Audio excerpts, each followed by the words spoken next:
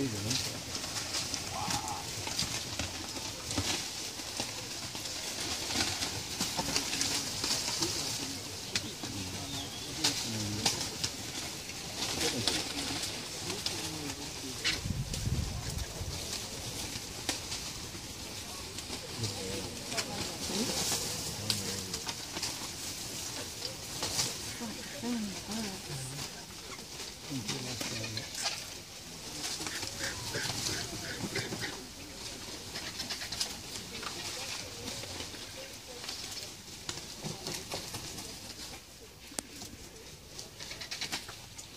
well,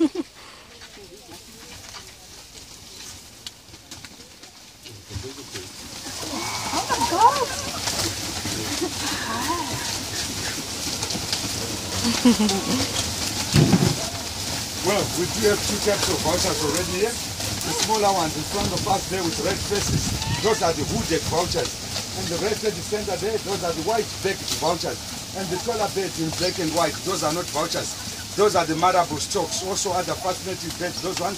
But we'll talk much about the Marabou storks later. Let me quickly get back to the reasons why we are feeding these vultures. Studies have been done to ascertain the reason why the vulture population has been dropping year in, year out. After those studies, a lot of results were pointing at us human beings. How then do we get involved? Let's look into the farming side.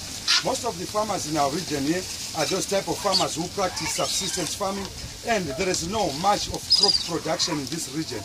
So most of their wealth lies in the number of livestock they own. So if a farmer wakes up in the morning checking on his livestock, only to find out that one or two beasts have been killed by predators, that would be a great loss to that farmer. So what they think of is to eliminate or to do away with those predators once and for all so that there won't be any such losses in future.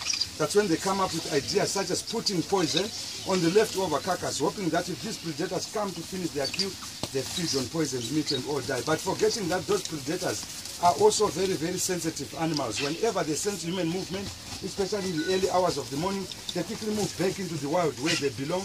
And when it's daylight, what comes first is a vulture. As you can see right now in front of us, ladies and gentlemen, these are gregarious birds. They always feed in large numbers. So imagine if I had put poisoned meat here, how many vultures I would have killed in just five to ten minutes. It means this whole which came here today can disappear on just one carcass. But vultures do not multiply all that fast. A single vulture lays a single egg every year, which takes 54 to 56 days to hatch. Once it's hatched, a vulture doesn't leave the mother's nest until it's a sub-adult, which will take another four to five months. So for us to come up with a flock which just came here today, this can take five even to ten years. And imagining that all the birds which came here were all females, having babies back in the nest. That would also mean the number of babies who would get lost. Because if the mothers die here on the feeding site, it means the babies will also die in the nest. That is of starvation.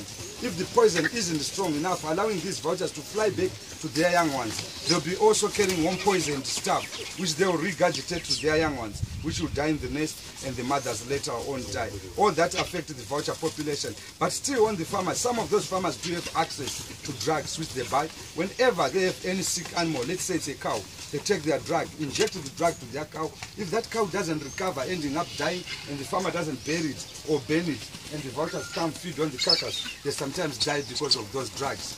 There are also drugs which don't kill these vultures on the feeding site, but once they consume such carcasses, they sometimes get disturbed genetically, whereby in their future they'll start laying eggs without stronger shells. And those eggs, they always break before they are hatched. That also affects the vulture population.